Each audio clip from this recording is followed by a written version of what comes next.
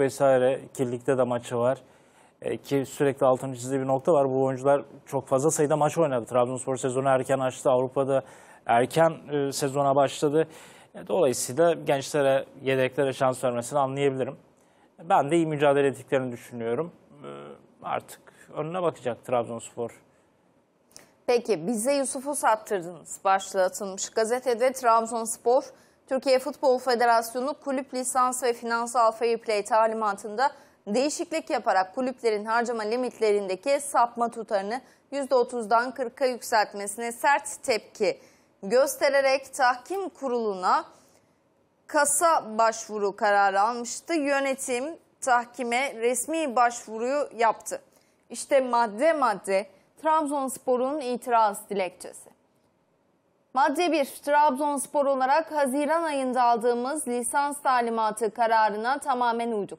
Ekonomik olarak oyuncu giderlerimizi düşürdük ve sponsorluk anlaşmaları, oyuncu satışlarıyla gelirlerimizi artırdık.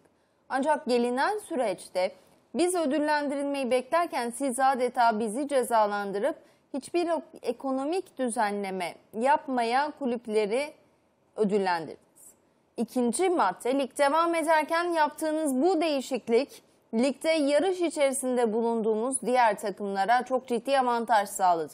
Biz devre arasındaki transfer çalışmalarını sizin belirlediğiniz kriterler doğrultusunda yönetmeyi düşünürken yaptığınız değişiklikle diğer takımlara sağladığınız transfer avantajı haksız bir rekabete neden oldu. Adaletsiz bir ortam oluşturdunuz. Üçüncü madde sezon başında biz UEFA ile finansal fair play kriterlerine harfiyen uyma konusunda anlaşma imzalarken siz de Türkiye'de futbolun tek yetkilisi olarak finansal kısıtlamalara gideceğiniz konusunda taahhütlerde bulunmuştunuz. Ancak gelinen süreçte sadece bize verdiğiniz sözleri yerine getirmemekle kalmayıp UEFA ile yapılan sözlü ve yazılı anlaşmaları da hiçe saydınız. Dördüncü madde lisans talimatı konusunda asla geri adım atmayacağınızı ısrarla vurguladığınız için bizler de size güvendiğimiz için sezon başında Yusuf Yazıcı gibi önemli bir oyuncumuzu transfer bütçesinde yer açabilmek için ve ekonomik olarak rahatlayabilmek için gönderdik. Birçok oyuncumuzla yüksek maliyet nedeniyle yollar ayırdık ve mevcut oyuncularımızın ödemelerini de kısıtlamaya gittik.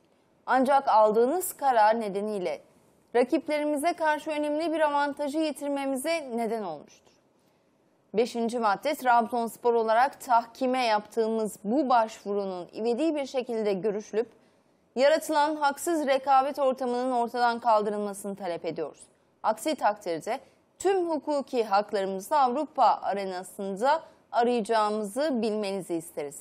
Trabzonspor Kulübü ekonomik olarak attığı adımlarla Türk futbolunda birçok kulübe örnek olurken ödüllendirilmek yerine cezalandırılmıştır dedi Trabzonspor dilekçesinde. Ben bir ağır, ağır abartılı, ağır. Yani tamam Trabzonspor'un davasında haklı olduğunu düşünüyorum ama e, yani harcama yapmak zorunda değilsin. Yani açılmak zorunda değilsin. Daha fazla zarar yapmak zorunda değilsin. Yani bir limit arttırımının sana ne zararı olabilir? Yusuf'un satılmasının bundan ne alakası olabilir? Yusuf zaten sen, Yusuf gitmek istediği için sattın. Yani bunu ben bak ne diyorum? Trabzonspor'un